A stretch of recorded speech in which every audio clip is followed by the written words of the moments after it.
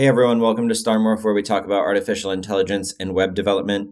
Today we are going to go into building your own knowledge base to bring your own data into LangChain and use it with GPT-4. So how do you bring in some of your specific data to interact with GPT-4? Uh, as a lot of you probably saw in my last video, we showed what this can do, you know, giving more specific answers to your content. And in this presentation, I'm going to go over some of the different pieces that are at play when you're building a knowledge base like this. Uh, so this is an outline of the presentation. We're going to go over embeddings, vector storage, LangChain documents. So just an overview of the whole building a knowledge base. So let's get started. All right, so first off, what data do you want to bring into this app? What data can you bring into this app? These are some of the file loaders that are supported by LangChain. And there's also web loaders. So there's an ability to bring in Amazon S3 files. You can bring in a GitHub rep- repository. Uh, you can do web scraping with things like Puppeteer or Cheerio. And then you can also do these file loaders. And so, just a little bit about these. I typically do a PDF uh, file loader or I do text files or markdown documents, and I've had those working really well. I've had some issues with docx files, and I believe the CSV file loader takes some configuration. You have to identify what headers and rows and columns you want to use. So um, the LLM does well with with raw text, um, especially structured text if possible. So that's what I've been doing so far. But the way that I do it also is I make a directory. There's also a directory loader, and then I can um, I can load in any PDF or text files in that directory that I put in into the embedding and into the next steps we're about to go to. So once you identify what your file type is and what your data is going to look like, then we can load our data into LangChain, into our LangChain application using um, a document loader and creating a LangChain document. So you can see here we're importing, and this is the JavaScript. This whole presentation will be on JavaScript LangChain. Uh, we're importing the text loader from LangChain. And then we are loading this text file here using the text loader. So this is important because this concept of loading in a document is how we start to get access to work with our, our data in the LangChain application. And um, another thing to consider here is we have some tools to help us parse the the text. So we can do things like splitting and chunking the text um, when we're loading it into the documents and loading it into the embeddings. And that's another tool that LangChain provides. Okay, so once we have the document, a next piece of the puzzle is creating an embedding. So let's start out with what is an embedding. An embedding is used, as it says here, to create a numerical representation of textual data. So it's a vector of numbers lots of vectors of numbers, and each number, the closer a number is to another one, the clo- the more similar they are. The distance between the numbers signifies how similar different uh, parts of the embedding are. So let's just zoom out here a little bit, and this is actually a visualization of what we're going to be doing with these embeddings. So we're going to create the embedding, these vectors, with uh, numbers representing our document. And then what we're going to do is we're going to perform a similarity search over the embedding. And we're also going to talk more about vector storage and creating a database for these embeddings um, that we'll also use in this process of doing similarity search. So this is a cool visualization of what we're actually trying to do here. We're loading in our source document, whether it's a text file or a PDF file.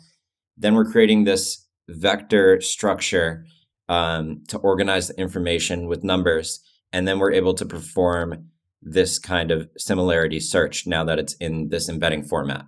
And, and this is also a format that we're able to send over to OpenAI um, and interact with GPT-4 with the embedding. Okay, so that's a little bit about what embeddings are. It's just a list of numbers that tells you about your source document uh, context. And there's a great website. Um, there's a lot of great websites that talk about this one of the pages I usually go to is just the OpenAI pages page about embeddings. And so this is a great resource to learn more about what they are, measuring the related of text strings, and then we can do search as well as some other features here. Okay, so let's talk about creating and embedding in LangChain. How do you use them? So we can import the OpenAI embedding section of the library. And this also is available in the OpenAI API directly, uh, which this page will go into. And there's two kinds of embeddings that we can do with LangChain. Um, the first is embedding the query. So you can think when you're using a chatbot, the actual prompt that the user is typing into the bot, we can embed that search. And then we can also embed on the other side the actual document, like we were just talking about, bringing in the document loader and embedding the document. And then you can, I believe, use the query embedding in reference to the document embedding. And um, yeah, so there's two forms of embeddings that we can do here, both the query and the document. And that's from the LangChain documentation. Okay, so now we have an embedding of our document. We are able to create an embedding of our query. Let's talk about managing these embeddings. And that's where we get into vector storage. And this is a very exciting area right now. Um, these companies are, there's some amazing technology coming out. Chroma just raised around, Weaviate just raised their Series B. LangChain just raised around. Supabase just built a vector database plugin, which I'll talk more about. So lots of really exciting stuff happening here. Congratulations to these companies. And I'm really excited for all of the tools that I imagine uh, are going to come out of this. And I think that it's a great time to jump into this stuff and start learning while these tools are early on and before they get more advanced. Might as well learn the fundamentals now so we can understand uh, how to continue using them as they develop. So, all right, this is a lot here. Vector storage, it sounds kind of crazy. If you want to just get started into it, where's a good place to start? So, my thoughts on this are there are two main things to consider.